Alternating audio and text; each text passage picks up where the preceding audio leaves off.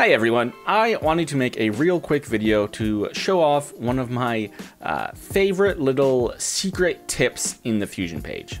And I say secret, although it's, it's definitely not meant to be a secret. It's part of the intended functionality for this tool, but I don't think it's something that a lot of people uh, would think to do by themselves. I definitely didn't even consider it um, until I, I, discovered it in a roundabout way. And I've even brought it up in a few of my videos before, but I thought it was cool enough and applicable enough that it merited its own video. So here we are. And what I'm going to be showing off is my absolute favorite way to make grids or patterns or any sort of duplicated shape in a scene. I'll show off a bunch of examples soon. But first, we're looking at this cool radar effect for a reason. This is one of the included free presets in DaVinci Resolve. If you open up your effects library, under here you have templates, you have several different categories.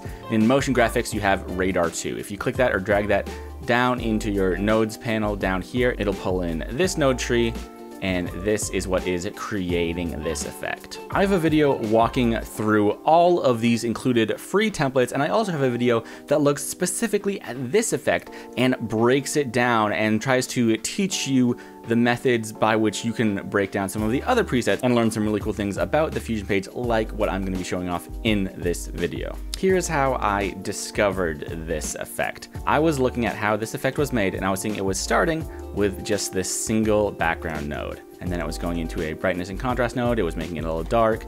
It was being masked using these two mask nodes into another brightness and contrast, which is pulling down the opacity on everywhere else. So you have this X and cross, but then if you look at the next node, you see all of a sudden it is being turned into this grid, and this is super cool. And it's doing that through a standard transform node. And if we open up the transform node, make sure our inspector is open, you can see that what is happening is that the size is being pulled down, and also the edges parameter, which is normally on canvas, has been set to wrap. If I change that back to canvas real quick, you'll see that here it is still only that single cross, but because we have this set to wrap, when it scales down whatever is in frame, it looks to the other side of the frame and brings that in and continues the pattern or the shape or whatever you're working on. So then the preset took this, took it into a coordinate space one to make it circle, and then did all the other cool stuff to make this main radar effect. Very cool. And I instantly knew that this was super applicable to a ton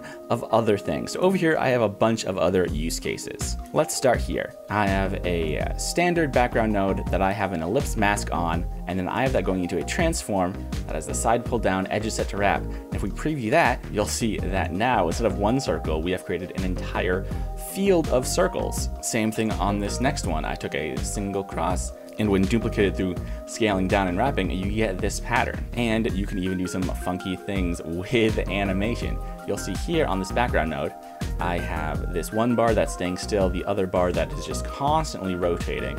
And because it's duplicating it, you get this really rad pattern over here. And depending on where you create your animation, you can have all sorts of different effects. Here, I am actually not animating the original background shape. That doesn't change, but on the transform node, I pulled down the size and it says wrap, but also we are just shifting the center coordinate. So it is just taking that entire pattern and sliding it to the left. And I used this exact effect in a pack of presets that I made for streamers quite a while ago now. You'll see the first is just these lines moving off to the right, again from just this single line.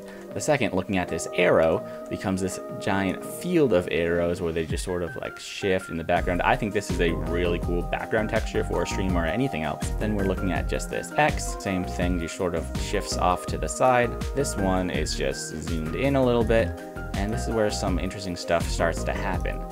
So this one, if we look at the background node, we're actually animating on the mask path. You'll see that over time, this mask is just going to be ping-ponging back and forth.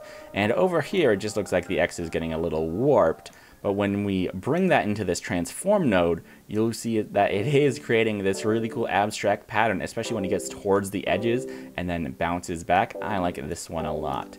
And then this final example from that pack, again, we have these circles, which are doing the same thing, just sort of normal animation here, just a few circles.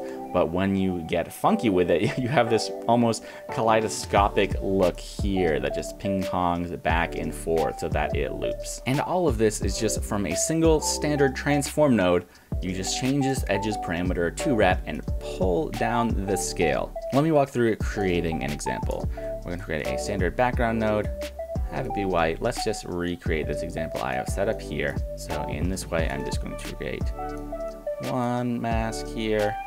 I'm going to duplicate that mask and rotate this 90 degrees.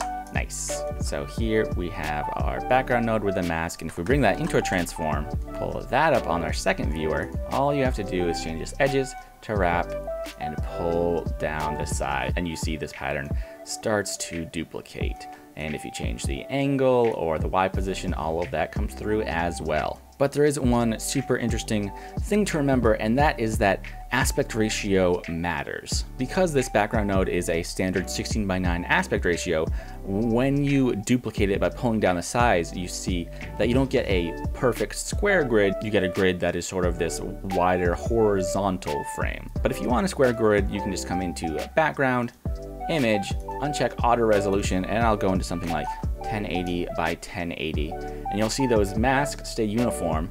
And then now this transform node, you see that you have perfect little squares right here. You can do whatever you want. And if you wanted to get this back into a 16 by 9 timeline, I would create a standard background node, pull down the alpha so it's transparent, connect these two outputs, and then at first you will see that it sort of crops this to the original transform, but if you come into that transform and go to flatten transform, it will change to fill that entire workspace that your second merge is going into.